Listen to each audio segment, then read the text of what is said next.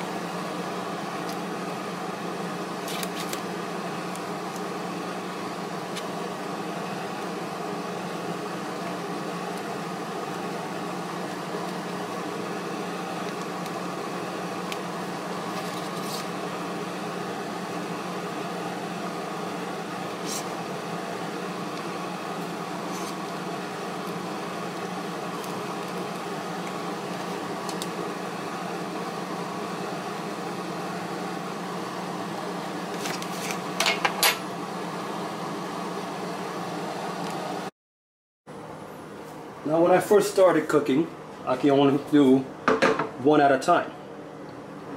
I don't know how my mom does it, but she can do four, five, six, seven at a time. Today I'm going to be brave and flex for the camera. And I'm going to do two at a time.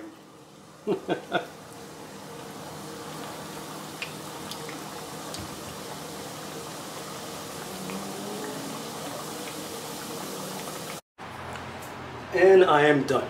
Altogether I made 10 pastelillos and yes, all 10 are mine.